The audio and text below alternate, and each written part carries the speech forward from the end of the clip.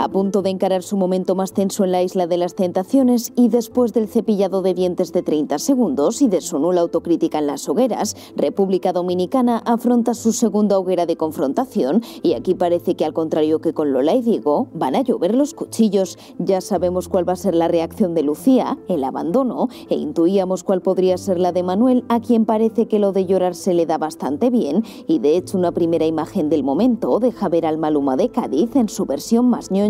Lo que pocos esperaban eso sí es que con este panorama el gaditano se burlase de Lucía de esta manera y encima a golpe de TikTok.